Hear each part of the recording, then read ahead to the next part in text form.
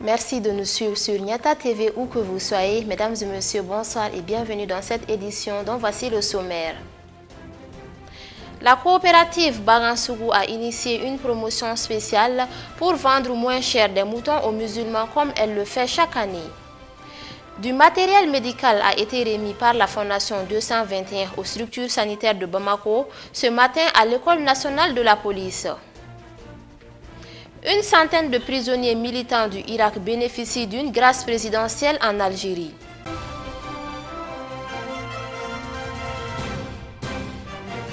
Une fois de plus, bonsoir et bienvenue dans cette édition. C'est sous le thème Qui plante un arbre n'a pas vécu inutile que le coup d'envoi de la 27e édition de la campagne nationale de reboisement a été donné hier dans la forêt classée de Koulouba par le président de la transition, son Excellence Assimi Goïta. Cette opération concerne 17,5 millions de plants sur une superficie de 19 000 hectares. Le président de la transition a plaidé pour la sauvegarde et la restauration de l'environnement ce fut en présence du Premier ministre Dr Shogel Kogala Maïga et du président du Conseil national de la transition, le colonel Malik Djao, Ali Kloubali. L'édition 2021 de la campagne nationale de reboisement met l'accent sur la promotion des espèces locales d'arbres dans la lutte contre le déboisement. Intervenant à l'occasion, le président de la transition a salué l'initiative de la campagne nationale de reboisement organisée chaque année par le ministère en charge de l'environnement depuis 1995. Le Mali est un pays sahélien où le désert avance à grands pas. Nous devons nous mobiliser pour contrôler le processus de désertification, a exhorté le colonel Assimi Guita avant de plaider pour la sauvegarde et la restauration de l'environnement. Une œuvre salvatrice pour l'accomplissement de laquelle chaque Malien doit apporter sa contribution selon le chef de l'État. Il a invité tous les Maliens à la sauvegarde du peu de forêt qui nous reste, à éviter l'occupation illicite des forêts classées et à planter des arbres, comme l'exhorte le thème de la présente campagne. Qui plante un arbre n'a pas vécu inutile. Le ministre de l'Environnement, de l'Assainissement et du Développement durable a salué la volonté des plus hautes autorités du pays à relever le défi de la lutte contre la désertification et le changement climatique. Pour Moudbokone, notre pays perd chaque année plus de 500 000 hectares de forêt du fait des activités malsaines de l'homme. C'est pourquoi, sur les 32 millions d'hectares de forêt recensés au Mali en 2002, il ne reste actuellement qu'environ 17,4 millions d'hectares, a fait remarquer le ministre connaît. D'où l'intérêt, selon lui, des différentes campagnes de reboisement pour susciter une prise de conscience de la part de l'opinion nationale sur la nécessité d'investir dans les actions de lutte contre la dégradation des ressources naturelles. Pour y faire face, la campagne nationale de reboisement 2021 prévoit la production de près de 17,5 millions de plants à prédominance d'espèces locales sur une superficie totale estimée à 19 000 hectares. De nombreuses autres actions sont prévues, notamment le ramassage de 308 000 noix, la récolte de près de 18 000 boutures, la mise en défense de 5 949 hectares de formation naturelle ou encore la restauration de 300 hectares de sites d'orpaillage. À l'attente de la cérémonie, la maire de la commune 3 de Bamako, Madame Djire Mariambo Diallo a exprimé la joie indescriptible de la population de sa circonscription d'accueillir le lancement de la campagne de reboisement. La cérémonie de lancement a été agrémentée par une prestation de la troupe théâtre Toboji à travers un sketch sur l'importance de la sauvegarde des arbres. Comme je vous annonçais dans les titres, en vue de faciliter l'achat de moutons pour la fête de Tabaski aux musulmans, la coopérative Bagansougou a mis en place une promotion spéciale concernant la vente de moutons au terrain réel près du Reida à Bajalan 1. Cette vente concernera plus de 1000 moutons pour la satisfaction des musulmans pendant la Tabaski. Soumou Yatara s'est rendu sur le site de vente. Je vous propose de suivre son reportage. À quelques jours de la fête de Tabaski, les prix des moutons font peur aux fidèles musulmans. Pour y remédier, le marché des bétail Bagansougou, en coopération avec le ministère de l'élevage et de la pêche, ont mis en place un promo spécial. Tabaski en vue de faciliter l'achat de moutons pour la fête. Ce promo spécial a pour avantage la garantie de l'approvisionnement des populations en animaux dans un rapport de qualité et de prix très avantageux pour le consommateur, mais aussi la régulation des prix et l'empêchement de la spéculation qui ne vise qu'à créer la surenchère. C'est juste une coopérative appelée Baransougou, investie par le gouvernement. Ici, nous avons un écart des prix entre d'autres vendeurs de moutons. La, nourriture des moutons, on peut, les prix sont très élevés. Les moutons qu'on vend à 150 000 ailleurs, ici vous pouvez les trouver à 125, 110. On s'est nommé promo spécial parce que les prix sont différents de ceux d'ailleurs. quoi. Que, il y a, par exemple, il y a d'autres qui vendent des moutons à 150 000 là-bas. On, peut, on vend la même catégorie ici à 100 000, 110 000.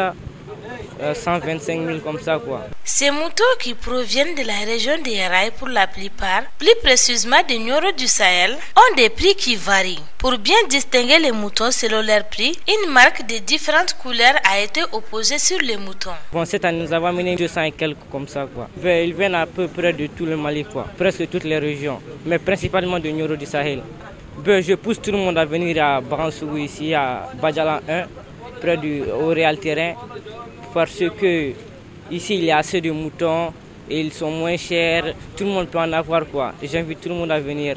À noter que cette belle fête, très populaire, commémore les sacrifices de bétail, mais aussi ça reste une occasion pour manger très bien le mouton. Pourquoi le marché des bétail Bakansoukou est en promo spécial pour la satisfaction des musulmans? La Fondation 221 a procédé à une remise de matériel médicaux aux structures de santé de Bamako. Il s'agit de l'hôpital de dermatologie de Djikoroni-Para, du CHI Gabriel Touré et du CCRF de Lafiabougou. Ce don de l'ONG Fondation 221 vise à renforcer le plateau technique de ces structures sanitaires et améliorer les conditions de travail du personnel. La remise officielle s'est déroulée ce matin à l'École nationale de police. Reportage Estata Touré et Moussa Diallo. Renforcer les équipements médicaux des forces de sécurité et quelques structures sanitaires, tel est l'objectif de cette remise de dons de la Fondation 221 à l'amicale de la police nationale d'une valeur de 500 millions de francs CFA. On est là ce matin pour une distribution de, l'eau de dons d'une valeur de plus de 500 millions de francs CFA. Des matériaux médicaux euh, consommables. Euh, consommables et, aussi euh, des matériaux chirurgicaux, euh, des lits d'hôpital, des lits de chirurgie, des lits d'accouchement. Il y a plein de matériaux médicaux quand même. L'échographie, les poupinelles, on a centrifuge aussi dedans. Selon la représentante du coordinateur de la Fondation 221, leur objectif est de venir en aide aux orphelins, aux femmes ayant des problèmes de santé, entre autres. Euh, notre ONG, c'est une ONG euh, africaine qui a été créée par un Africain euh, sénégalais, par un Sénégalais du nord de Moussanyang, résident aux États-Unis. Donc, l'ONG actuellement est pratiquement au Sénégal, en Côte d'Ivoire et au Mali maintenant. Donc, notre objectif, c'est de venir en aide aux couches défavorisées. On, lance un appel aux autorités de nous aider quand même à, à notre objectif quand même. Pour, euh, pour, pour arriver euh, à un but que nous voulons, c'est euh, d'aider les couches défavorisées en quelque sorte.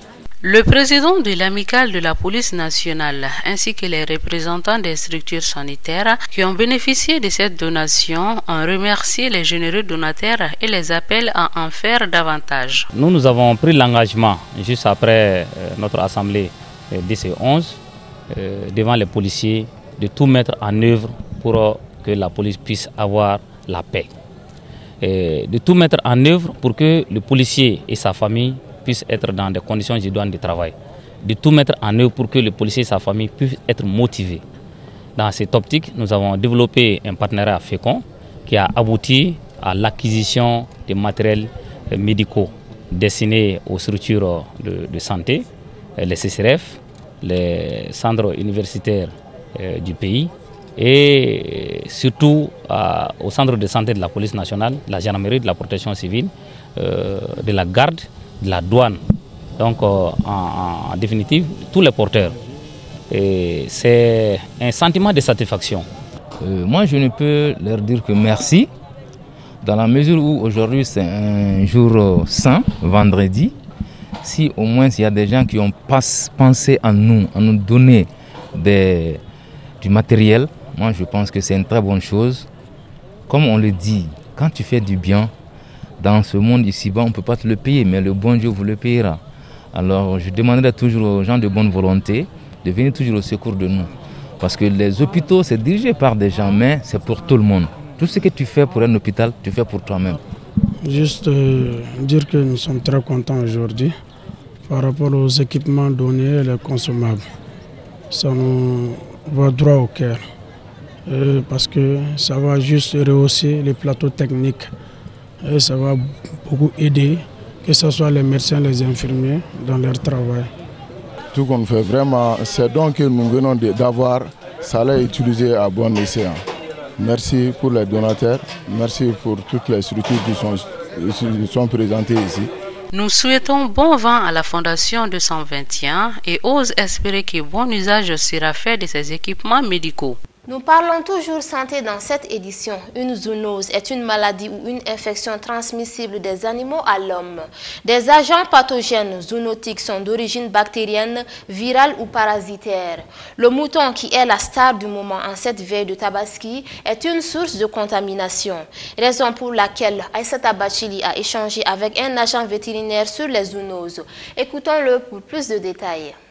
La fête de Tabaski, oui, mais la viande de mouton, il faut y faire attention, car l'animal peut transmettre des maladies à l'homme directement ou indirectement. Une maladie zoonotique ou une zoonose, c'est une maladie animale transmissible à l'homme. Il y a plusieurs espèces. Les animaux dont leur, leur viande est destinée à la consommation humaine, et même leurs produits, comme le lait par exemple, les œufs la viande de mouton, justement, peut transmettre la zoonose. D'où l'importance, la nécessité de faire une inspection de la viande, quelle que soit la provenance. Il faut quand même qu'un agent vétérinaire puisse contrôler la viande pour autoriser à la consommation humaine. Sinon, c'est un danger qui est là. Il faut en parler.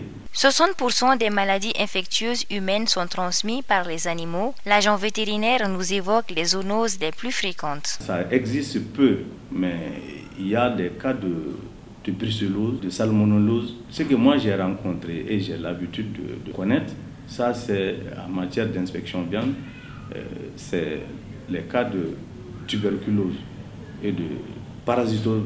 Les parasites aussi peuvent être transmis par la viande, par le contact avec des animaux sales. Quand l'animal est dépecé, par exemple les, intestins, tout, tout, tout, donc les enfants peuvent quand même aller dépêcher, enlever les fesses.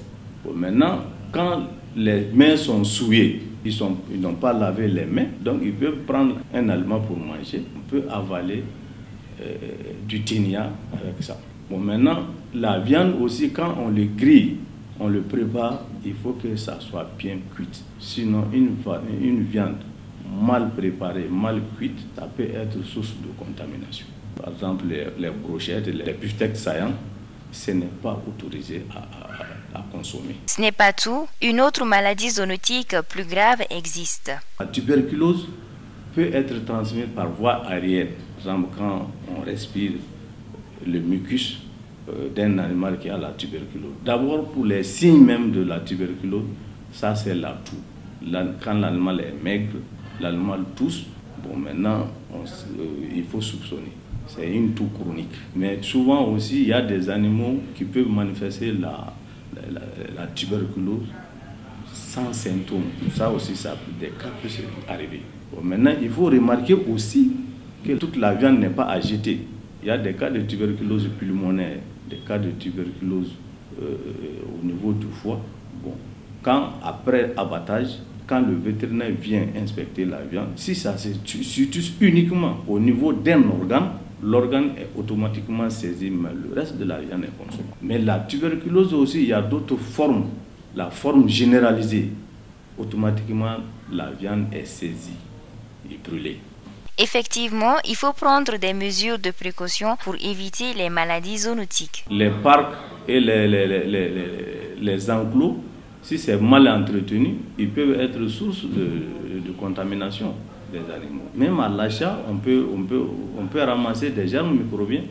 Mais maintenant, quand tu viens à la maison, il faut laver les mains, ça c'est très clair.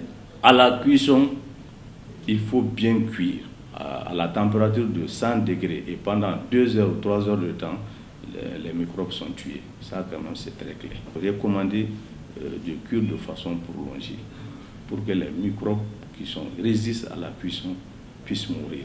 Par exemple, les bouchées qui dépaissent euh, euh, la viande et nos bonnes ménagères qui préparent. Donc, le couteau peut les couper les mains bon, leur, leur met en contact avec le, sang contaminé qui manipule euh, la viande, ils peuvent contracter certaines maladies. Ça, c'est très clair. Le Mali est le premier producteur de bétail. Malgré cette prouesse, notre pays néglige l'inspection du bétail, selon notre agent vétérinaire. Le Mali néglige trop euh, l'inspection viande. C'est une question de santé publique. On a des vétérinaires qui sont formés pour ça. Pourquoi ne pas les mettre au travail? Ce n'est pas une dépense de plus. Ce n'est pas être pour tout bas. Mais c'est une question de santé publique. Maintenant, il faut que l'État s'implique dedans. Les animaux pour la fête doivent être contrôlés. Terminons, il sensibilise la population à une prise de conscience. Il est temps de prendre conscience que la viande non contrôlée est source de problèmes il faut dire, il faut le dire avec force. Donc, même si c'est la fête, la viande, le sacrifice là, ça c'est le, sang.